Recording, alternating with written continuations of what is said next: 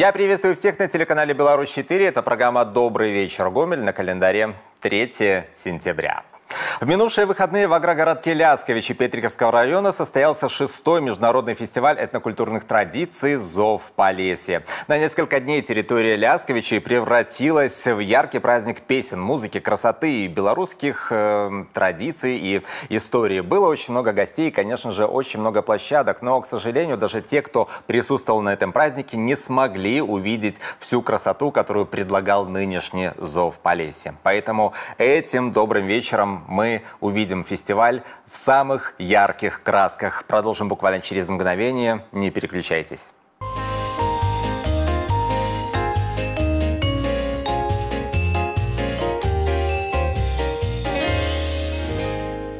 Фанфары Зова Полесья еще долго будут звучать, а мы с вами будем долго вспоминать те яркие эмоции, которые нам удалось там э, ощутить и пережить. Ну а сегодня у нас в гостях Александр Бондаренко, главный режиссер шестого международного фестиваля этнокультурных традиций «Зов Полесье» и директор ДК «Белецкий». Добрый вечер. Добрый.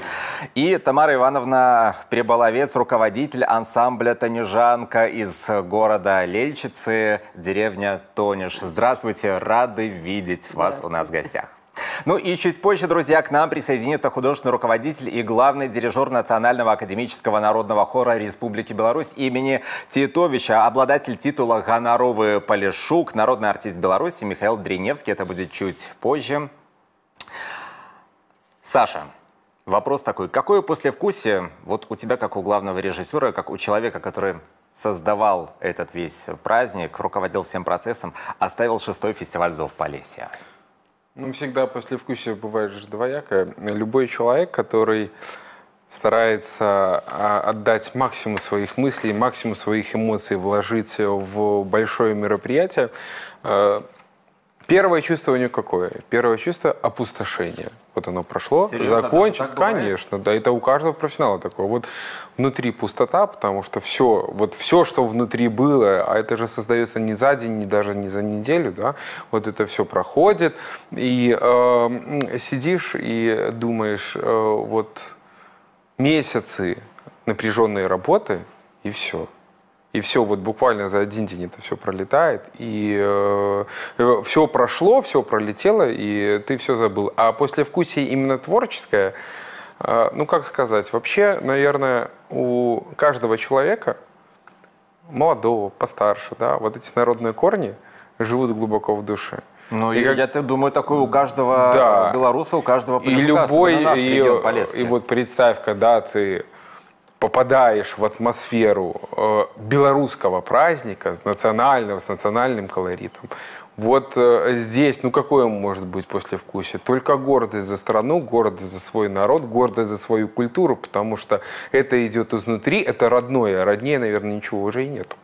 Вот э, ты упомянул то, что несколько месяцев, за несколько месяцев начинается подготовка. В данном случае, когда началась подготовка к шестому фестивалю? И, ну, вот, Я даже могу чего? дату назвать. 24 сентября 2019 года. Ух ты! Да.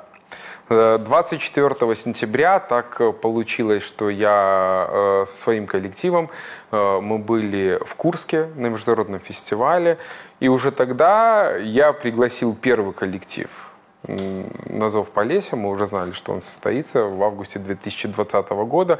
Буквально через неделю по нашему приезду. Мы уже вели переговоры с украинскими друзьями, чтобы они приехали к нам. То есть это все достаточно масштабная работа. Ну, без малого год это все идет. Если брать шире, э, ну, концерты, коллективы, культура, творчество – это хорошо. Но фестиваль, он достаточно большой, масштабный, огромное количество площадок и мероприятий разного формата. Вот, э, на твой взгляд, основная задача этого фестиваля в чем заключается? Основная задача – это показать богатство белорусской культуры, ведь это же фестиваль этнокультурных традиций. Ну, хотя это так э, и э, в названии звучит во множественном числе, да, и приезжают коллективы из разных стран, показывают свою национальную культуру. Но наша самая главная задача – это показать это ее прорекламировать, напомнить, кто мы такие, что мы единственные, что мы неповторимые. Вот это самая главная задача вот, э, фестиваля «Зов Полесья». Э, когда уже пошли разговоры о том, что фестиваль состоится, уже была определена э, дата. Вот первое, о чем я узнал, вот э, новое для меня, то, что фестиваль пройдет в совершенно новом для него формате. Расскажи подробности, почему решили отойти от, скажем так, традиций и представить фестиваль в новом ну, виде? Как, как сказать? Вообще для меня в марте месяце это тоже был сюрприз. Почему? Потому что первый оргкомитет, который э, вообще был э, посвящен организации Зоополесья, он был в марте месяце этого года. Мы когда приехали, вроде бы все как было, Лясковичи как были, ну, все так же. Ну, мы приехали, по... вот здесь сцена, вот здесь у нас подворье. А Национальный парк Припяти, на территории которого проводится, которые являются организаторами, главными организаторами э, этого фестиваля, нам говорит, нет, все будет в этом году по-другому, показывает нам территорию, там, поросшую, э, там, маленькие деревья, кустарнички, да, вот здесь будет новая зона, показывает нам э, готовый проект уже строительный, вот буквально после нашего отъезда началась масштабная стройка. То есть самое главное, что фестиваль получилось собрать в одном месте. То есть сцена была неотделима от подворий, неотделима от общей концепции праздника. Потому что раньше в центре поселка стояла сцена, подворья были на косе вот канала, который впадает в Припять. То есть это немножко было разрозненно. Считай, что фестиваль ведь проходил на территории всего поселка. А с этого года это отдельная совершенно зона, это, естественно, совершенно другие технологии, это совершенно другие ресурсы, которые надо туда э, вкладывать. Но я думаю, что у нас все получилось. Ну, об этом уже пестрят социальные сети, Инстаграм, страницы официальные того же фестиваля Зоополисия. Людям виднее. Кстати, много ли гостей собралось на нынешний Зов Полесья? Э, если говорить о творческих гостях, да, вот именно об артистах, которые, а все же артисты прошли через главную сцену, непосредственно на которой я и работал, э, я могу сказать, что это порядка двух тысяч артистов. Да ладно? Да, ну, фестиваль же начинается в 12 дня и заканчивается без малого там 11 вечера, да, то есть порядка двух тысяч артистов. А что касаемо всего гостей, Э, точную цифру не знаю. Нам, наверное, ответят только представители правопорядка, которые... Э, но то, что было мне сказано, это не меньше, чем было в 2018 году. А в 2018 году было 25 тысяч зрителей. Мне даже посчастливилось в 2016 году также принять участие в этом фестивале, провести несколько мероприятий, в частности и э, Полесскую прыгажуню. И церемонию закрытия. И церемонию да. закрытия, да.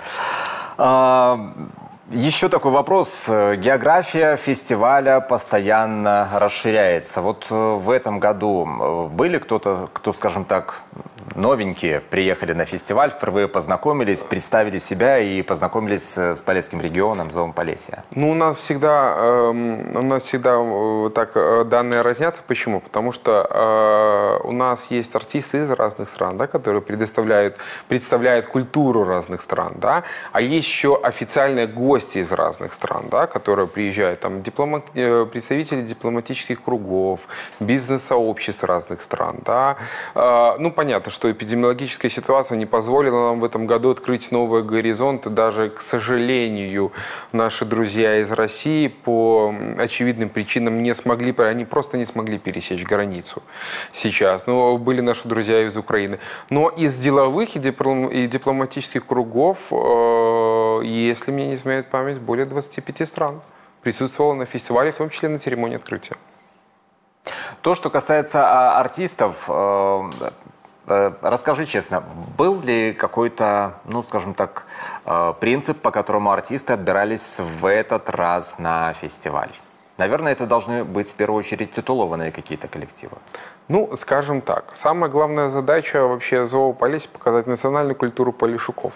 Да, и а, это 8 районов Гомельской области и 3 района Брестской области. И э, в первую очередь э, весь фестиваль начинается с идеи общей концепции, потом мы выстраиваем церемонию открытия и остальные самые ответственные мероприятия, которые будут идти на главной сцене. И, конечно, в первую очередь мы звоним кому? Мы звоним тем коллективам, полесским коллективам, которых мы хорошо знаем, э, в которых мы уверены, с которыми мы общаемся, дружим. Э, вот как раз-таки начинается не с титулованных, начинается с, с людей, которые, да, друзья, люди, которые рядом с нами, с которыми мы уже прошли огонь, воду и медную а Об этом и каждый э, ролик, предвещающий фестиваль «Клич Полесье», «Сбираюсь Сябру». Да, да, то есть это, это на самом деле это одна такая большая семья. Э, вот даже в этом году, э, получается, э, Брест, э, Столин, вернее, Брестская область, Столинский район, Лунинецкий район, э, Пинский район. Ну, это те э, районы, то есть не наша область, с которым мы не столь часто да, э, общаемся. Э, я уже звоню, ну, я же знаю, кому звонить, да. И мне говорят, ой, ну наконец-то, наконец-то будет в Полесье, наконец-то мы опять соберемся. То есть это вот такое объединяющее чувство. Ну а про наши гомельские коллективы я вообще молчать буду, потому что это уже звонишь, мы выполним любые прихоти главного режиссера. Это... Тамара Ивановна, вот э, расскажите, вот на вас нынешний «Зов Полесья» какое впечатление произвел?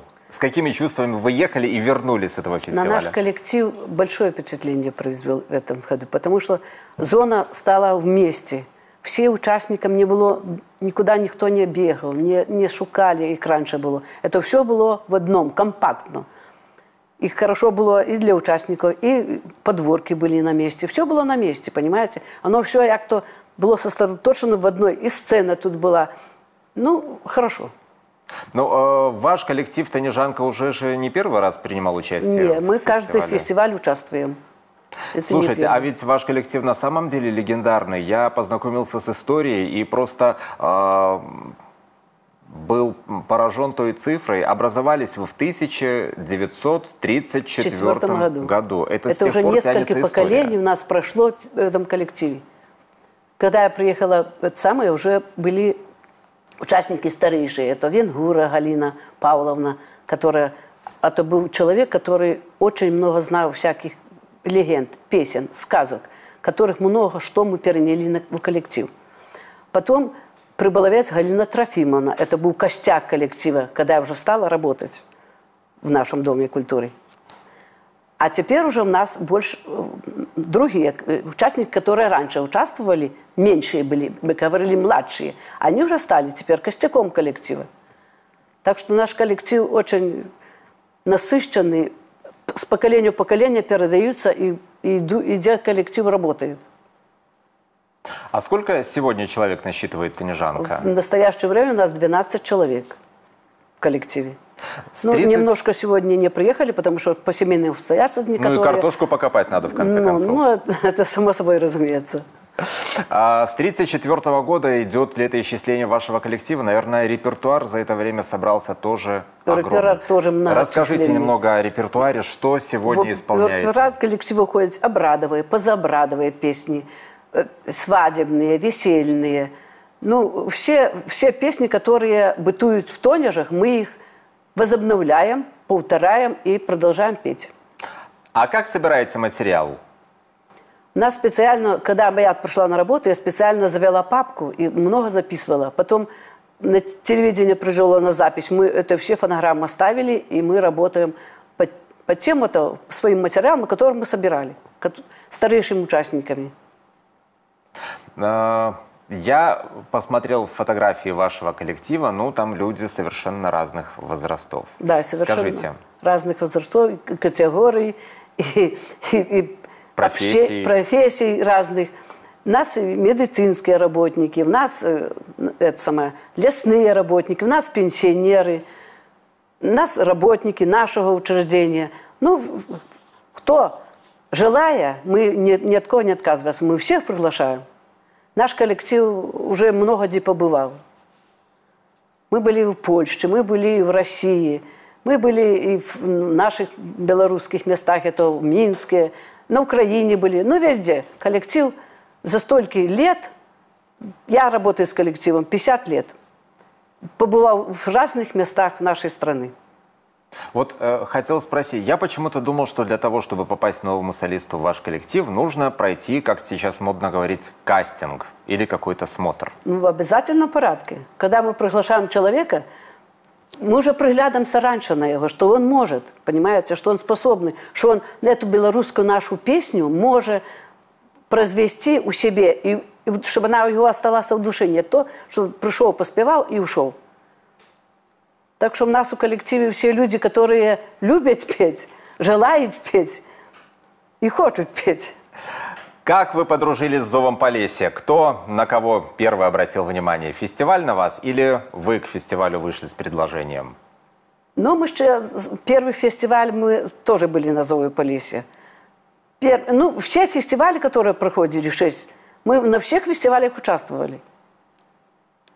Ну, конечно, фестиваль, я горжусь, что в Петриковском районе этот фестиваль, потому что я родом сама с Петрикова и горжусь, что но на, в нашем районе такой хороший фестиваль Зоополесье. То есть... Что он продолжает, продолжает работать. С нынешней малой родины из Лельческого района вы все-таки да.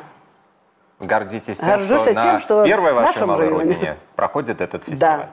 Я думаю, что сейчас уже самое время услышать одну из композиций в исполнении ансамбля «Танежанка». Расскажите, что это будет за песня? Это будет белорусская народная песня «Ой, пойду я темным лесом». «Як пойду я темным лесом».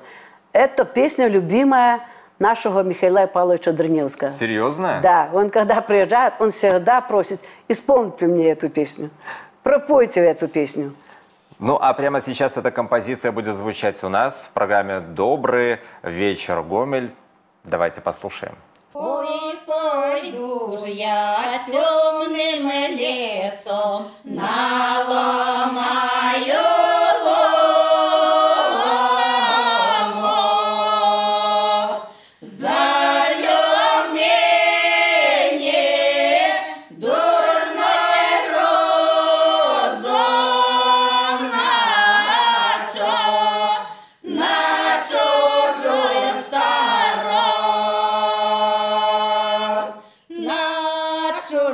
is a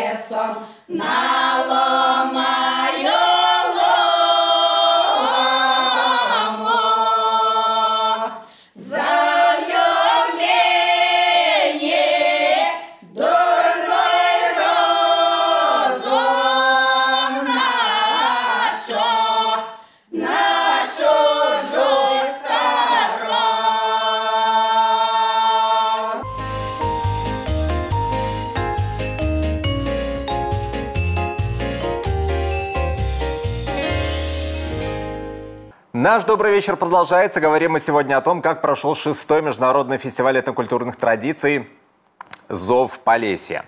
А, За время существования коллектива «Танежанка» вы принимали участие во многочисленных фестивалях. Вот и э, постоянные участники «Зова Полесья», и многочисленные гастроли. Вот э, какие из фестивалей, скажем так, самые дорогие близкие сердцу коллектива? Ну, конечно, фестиваль «Зоополесье» самый д- дорожей он к сердцу, потому что это наш, это наш белорусский, на котором мы можем показать свою фольклорную исполнение песен и всю свою культуру белорусскую.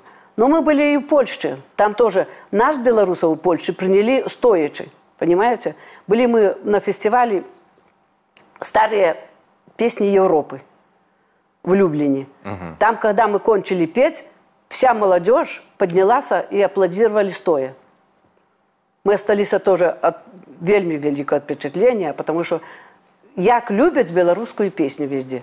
Были мы и в Москве, у Гнесина выступали. Там была самая э, фестиваль 13-й, майская ассамблея. Тоже там больше было студентов, которые занимаются в Гнесино. И были много-много, потому что тоже был международный фестиваль, было очень много стран. Ну и тоже мы там себя показали на высшем уровне. Белорусов везде любят, понимаете? И белорусской песни любит народ.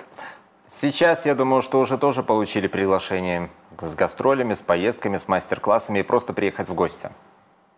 Ну, конечно. Я думаю, что всем мечтам суждено осуществиться. Так что я думаю, что на добрый вечер вы как-нибудь приедете с целым часовым концертом. Сто процентов приедем, потому что наши участники очень легкие на подъем. Им позвони, и они сразу идут на репетицию. Хоть там картошку копают, хоть там утомленные. Но люди, которые любят петь, они не могут не пойти.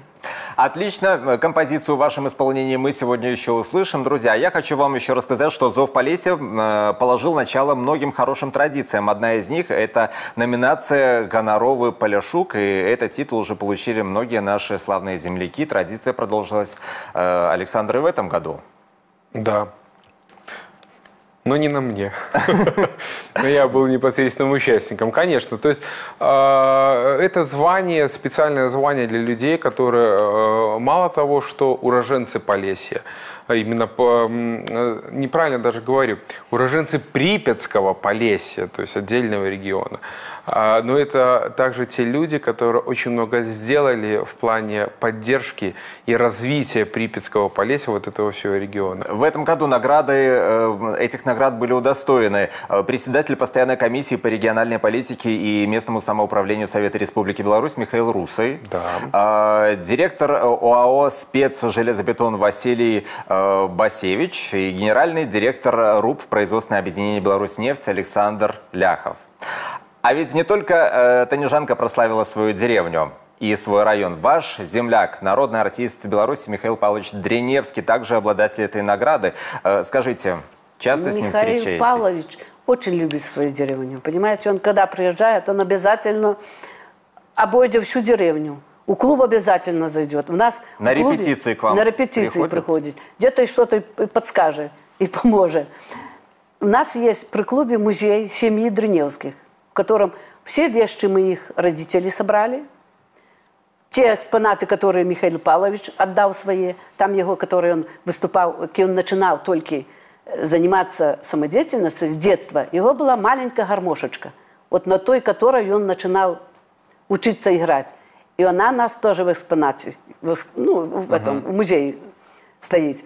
Его рубашка, которую он первый выступал, вышита, тетка ему вышила, тоже в экспонат такие у нас в музее там находится. Так что мы бережем его все вещи и его как нашего земляка. Михаил Дриневский с нами на прямой телефонной линии. Михаил Павлович, здравствуйте, добрый вечер. Здравствуйте, здравствуйте. Михаил Павлович, рада вас слышать. Это телерадиокомпания «Гомель», телеканал «Беларусь-4», программа «Добрый вечер, Гомель». Сегодня мы говорим о фестивале «Зов Полесья». Вот скажите, какое впечатление оставил у вас шестой фестиваль этнокультурных традиций «Зов Полесья»?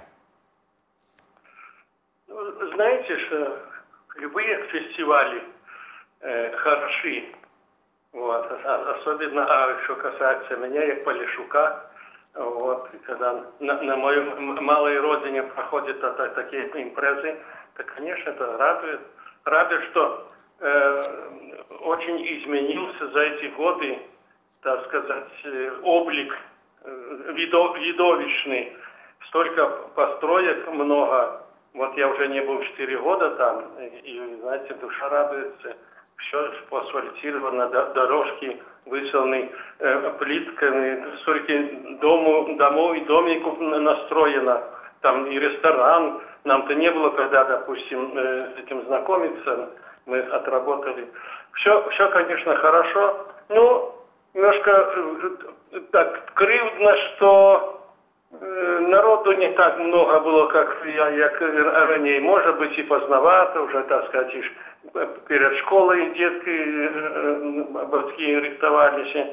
Может, и, вот эта ситуация у нас, откуда она взялась, так сказать, и во сне не можно придумать, что робится, так сказать, у, у нас. Какие-то причины были.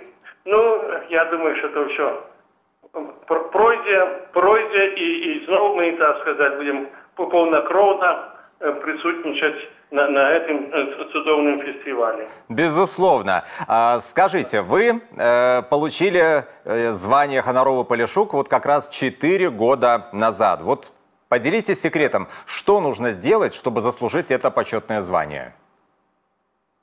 Я думаю, что это просто быть заправным Полишуком.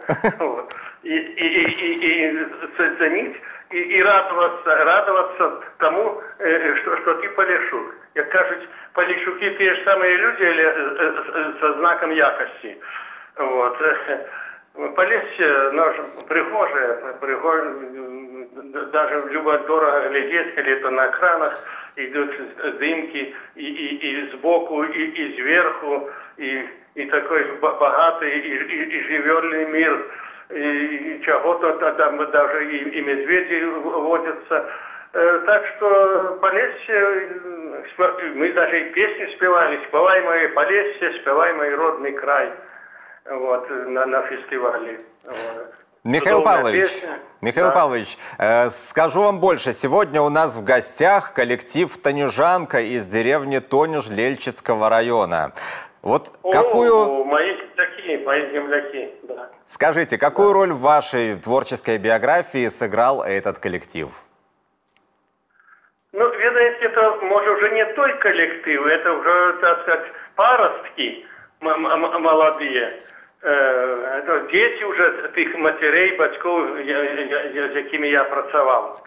Э, ну, а, а, а что, так сказать, э, для меня, мне здається, что коли калі б не было іх бацькоў не з хорам мусіць я б не был тым кім я зараз зараз ёсць эта песня прывабіла і я з 13 гадоў пачаў працаваць хармайстрам так сказать не ведаючы нот але так у нас на слуху што я чуў у вёсцы і в тоніжы і в букче калі я вучыўся заканчиваў 10 класаў Э, так это меня утянуло так, что я пошел учиться музыке, пошел учиться в Гомельское музычное училище, потом консерватория.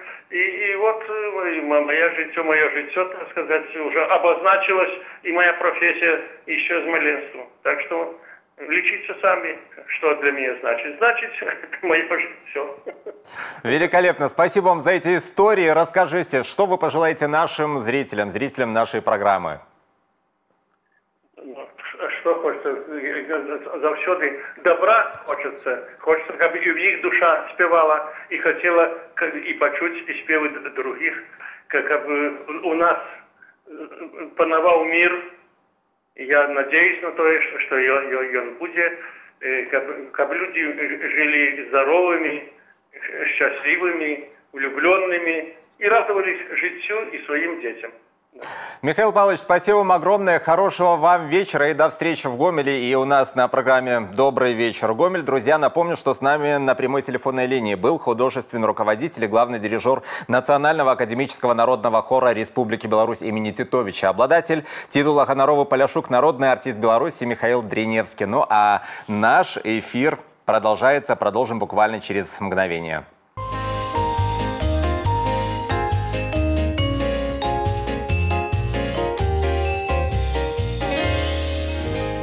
Друзья, наш добрый вечер продолжается. Говорим мы сегодня об этнокультурных традициях и о том, как же прошел шестой международный фестиваль «Зов Полесья». А, у нас новые гости. С огромным удовольствием спешу представить. Режиссер межрегионального конкурса красоты и грации «Полесское прохождение 2020» э, Мария Грицок-Тушинская. Маша, рад тебя видеть. Добрый вечер. вечер.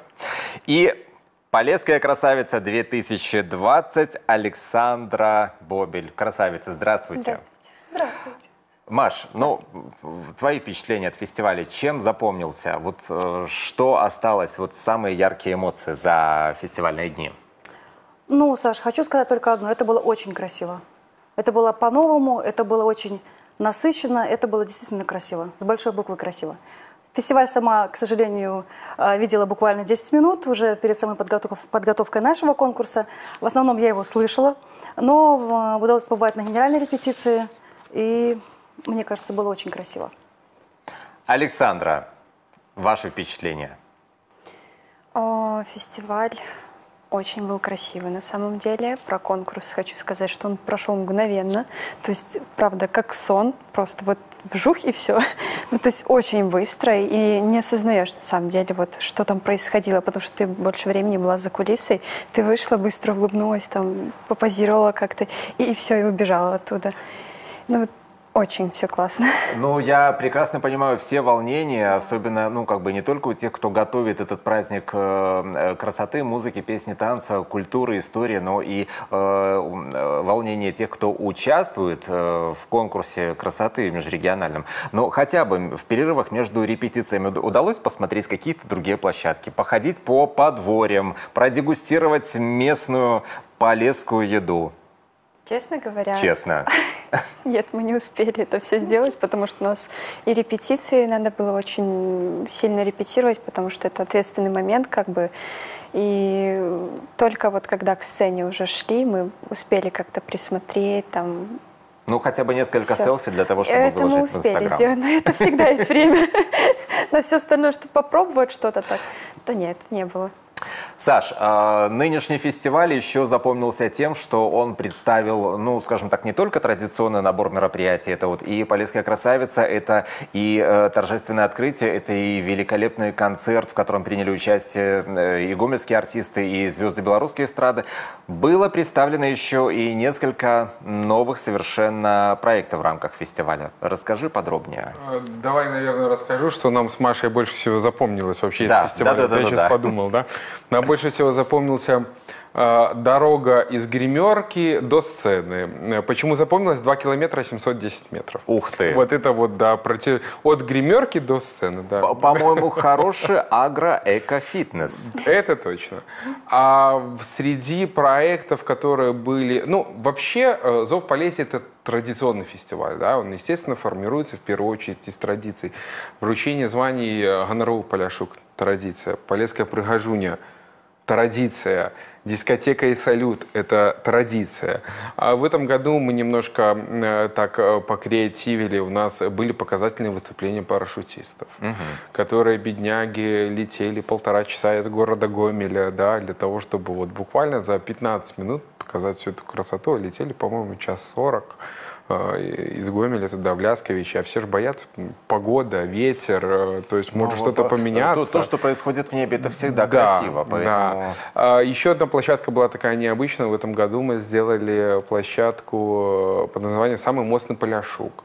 Атлеты, э, и, э, 10 атлетов со всей страны соревновались в силовых упражнениях. Но, естественно, все, все силовые упражнения были завязаны на национальных мотивах. Почему? Потому что это, если это перетягивание тяжести, то это бревно, либо э, пень какой-то, да, то есть все с национальным колоритом, если это упражнение э, так называемое коромысло, то тюки соломы, которые набиваются там для веса, тюк соломы весит, по-моему, 16 килограмм, да, то есть это все антуражно.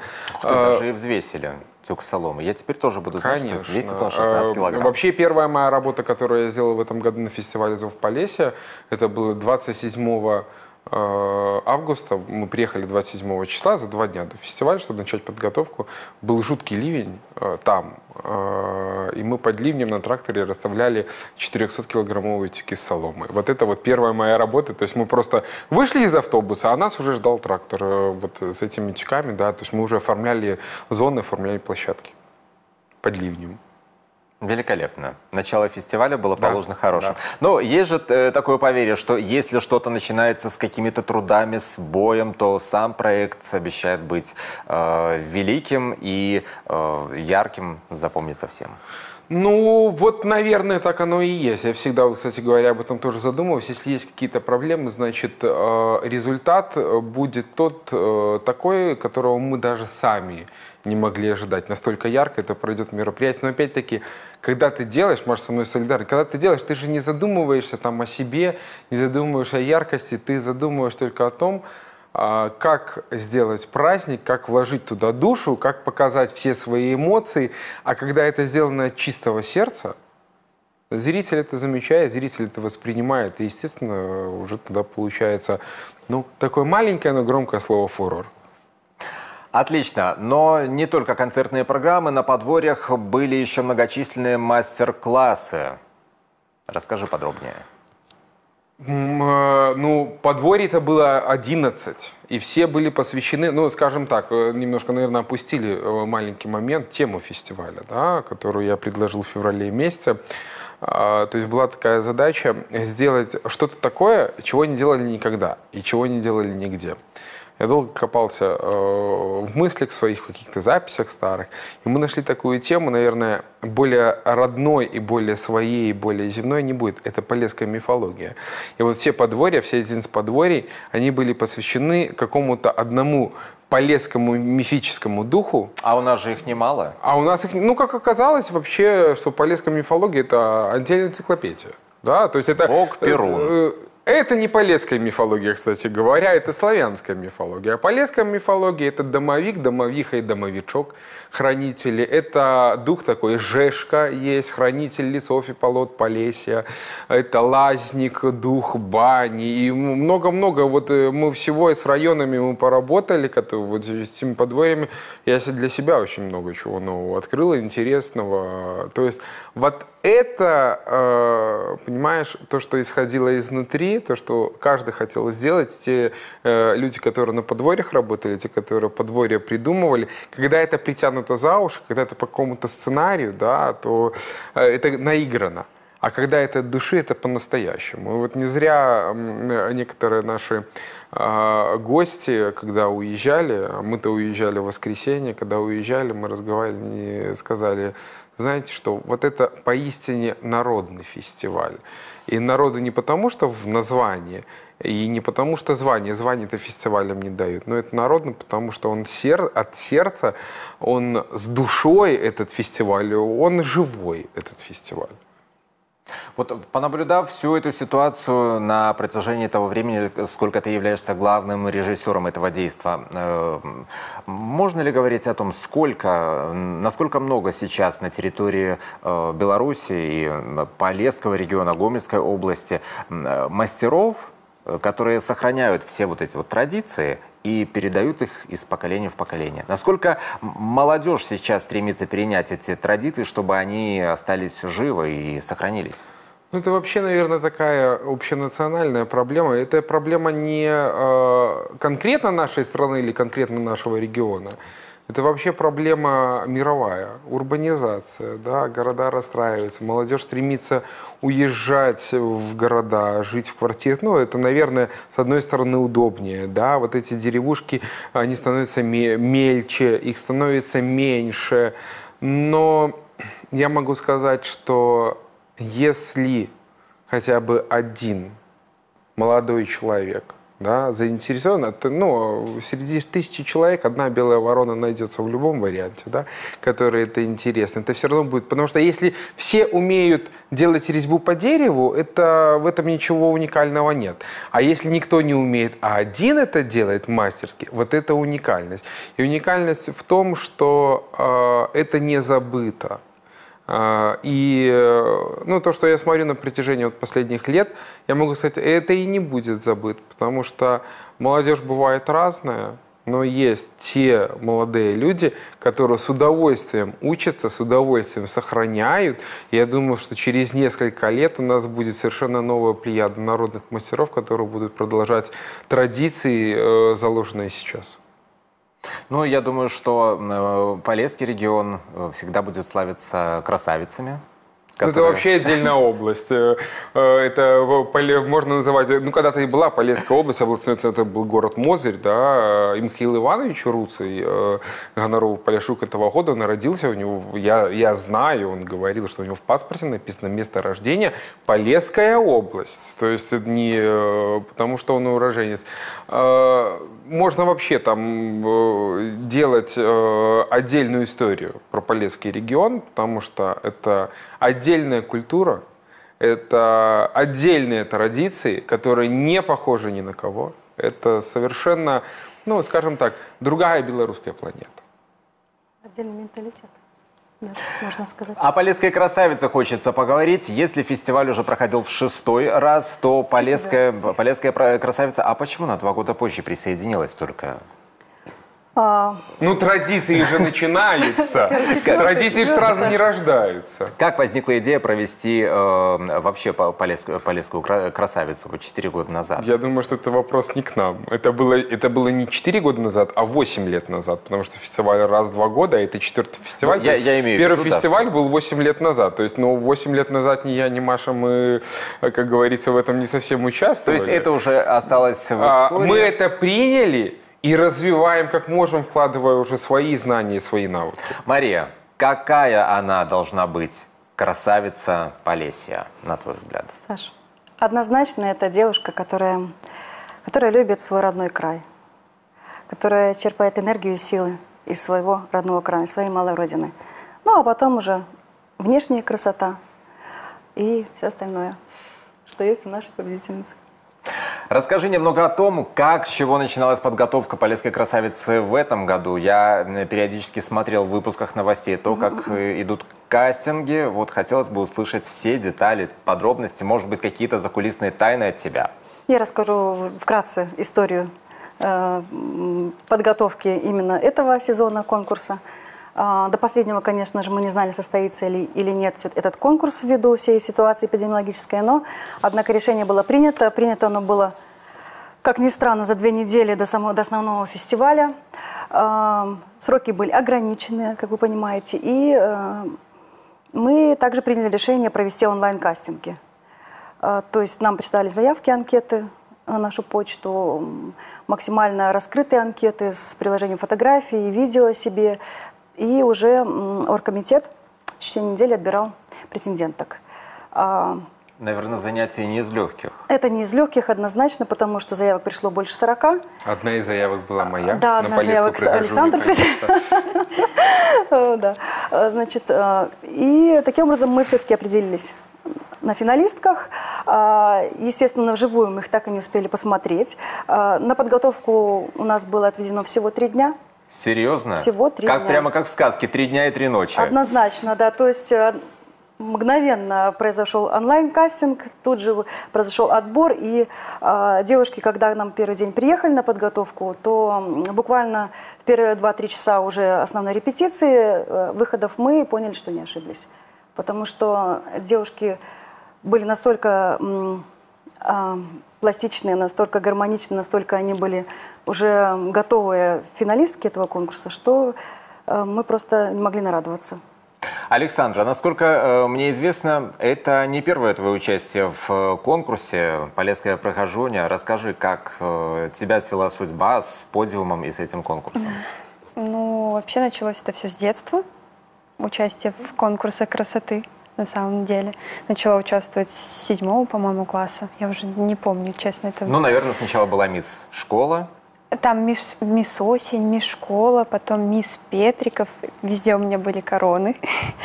Вот, потом э, я уже смотрела на 2016, по-моему, год. Девочки участвовали с моей же школы.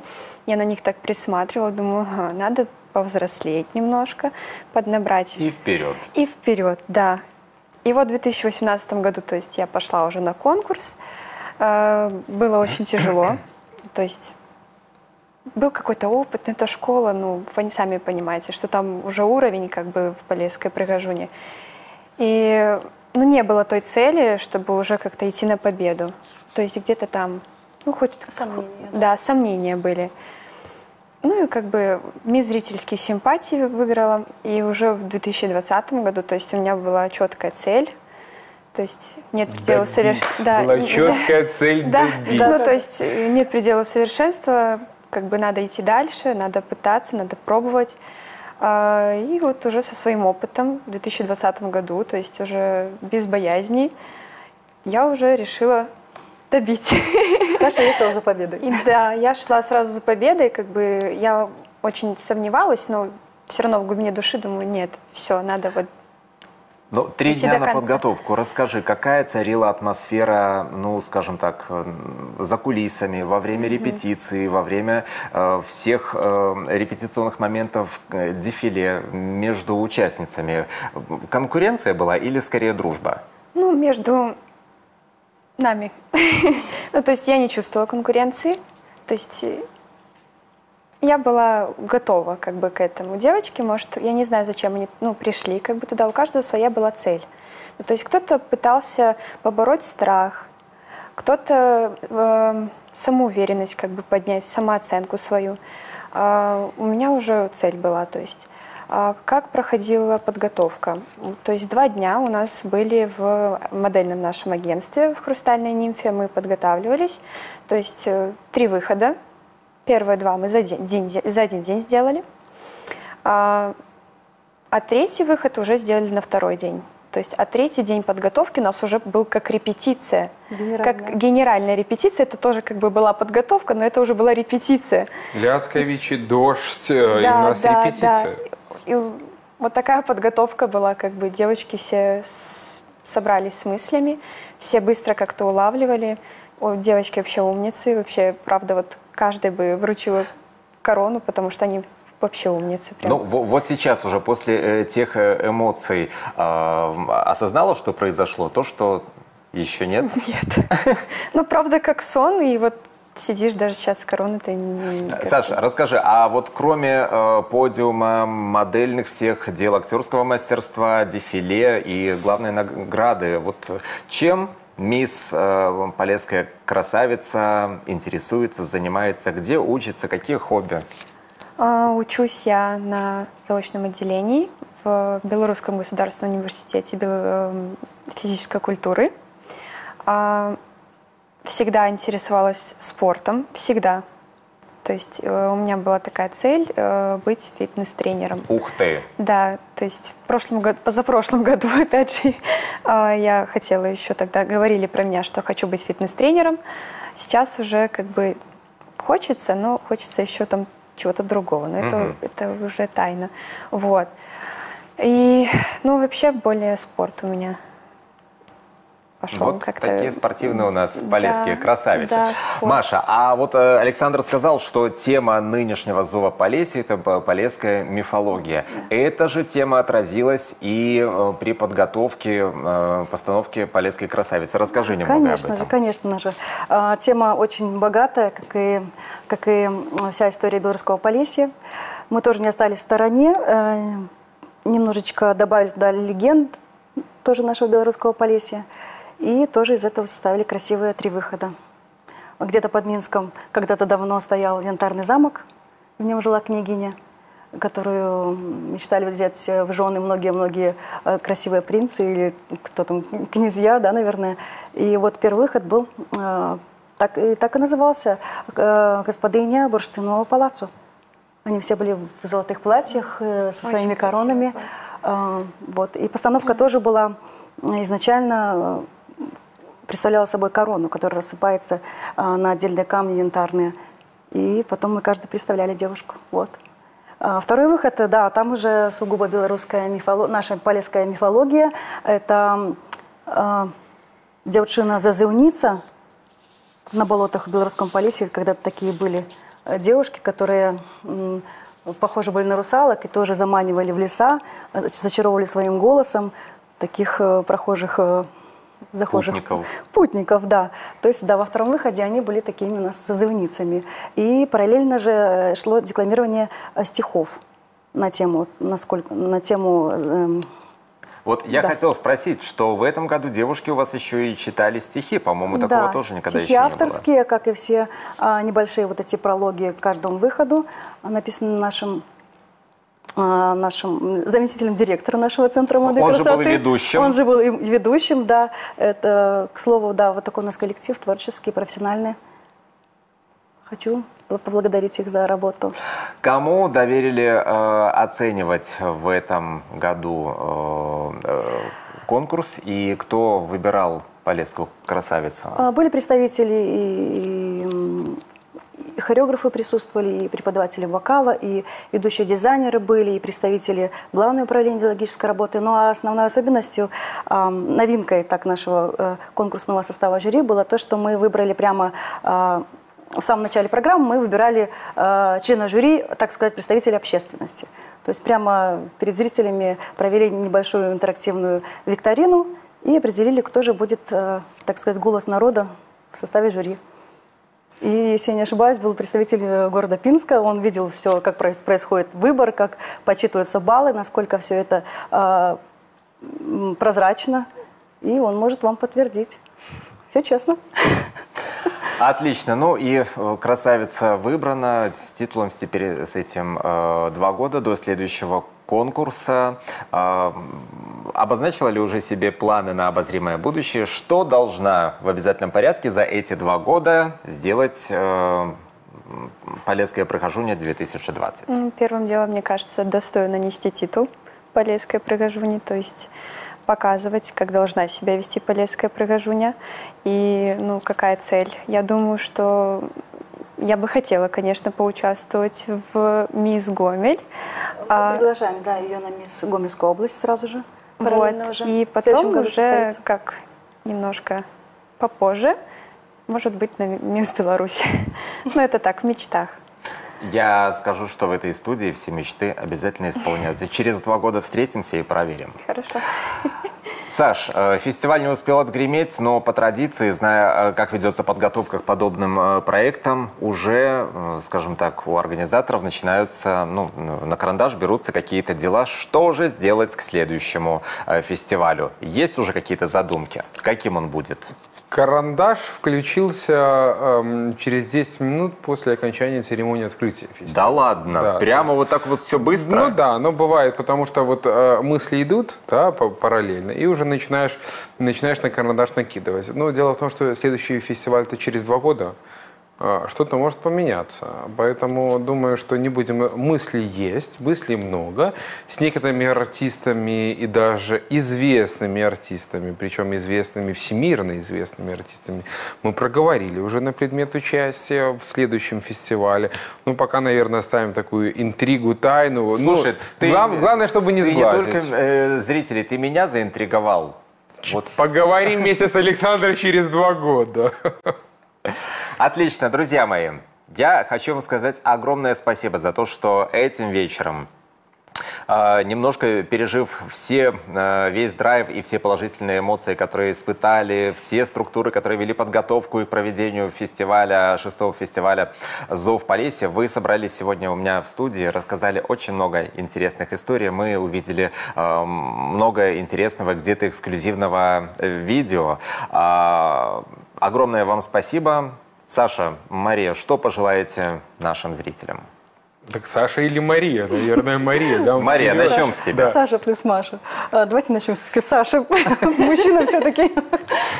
А, ну, в первую очередь, так как фестиваль состоялся, фестиваль состоялся очень красивый, я пользуясь такой возможностью, хочу сказать огромное спасибо в первую очередь всем артистам, которые приняли участие в этом грандиозном празднике народной культуры.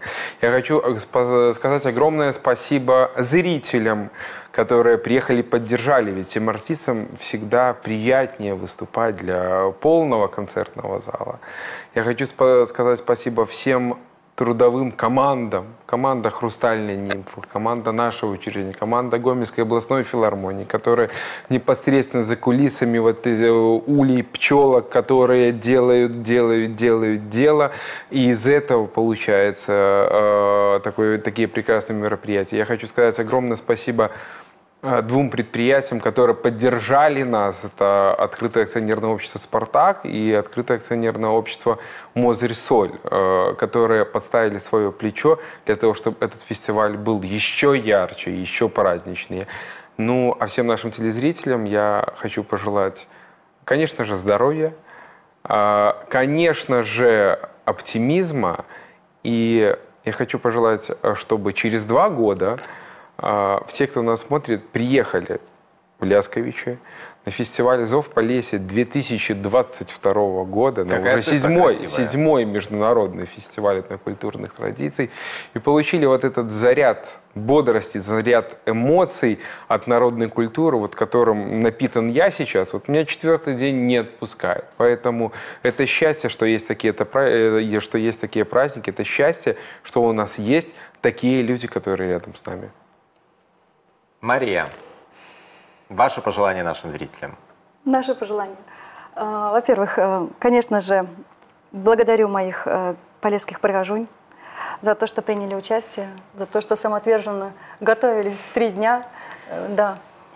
Хочу также поблагодарить, конечно же, команду а, Саши Бондаренко за такой прекрасный фестиваль. Своих, конечно же, хочу поблагодарить э, коллег, которые тоже выдержали такой э, темп и сделали такую красоту на сцене. Ну и всем нам хочу пожелать любви, и хочу пожелать нам всем мирного неба над головой. Это вот, вы знаете, э, фестиваль «Зов Полесья» как раз тот случай, когда вот хочется сказать, а давайте повторим. Также хочу поблагодарить нашего постоянного и самого надежного партнера конкурса «Полесское пригородие 2020», это ювелирный бренд «Кристалл», за постоянную поддержку наших красавиц за эти чудесные украшения, которые девушки э, старательно, за которые старательно так борются на сцене и во всей красе предстоит перед нами. Спасибо. Спасибо вам огромное за этот вечер. Вам, дорогие друзья, напомню, что завтра будет новый вечер. Безусловно, он будет добрый. Ну а этот вечер, как я и обещал, завершается на музыкальной ноте и завершает его легендарный коллектив из Лельческого района Танежанка. Увидимся с вами уже на следующей неделе. Удачи вам. Пока.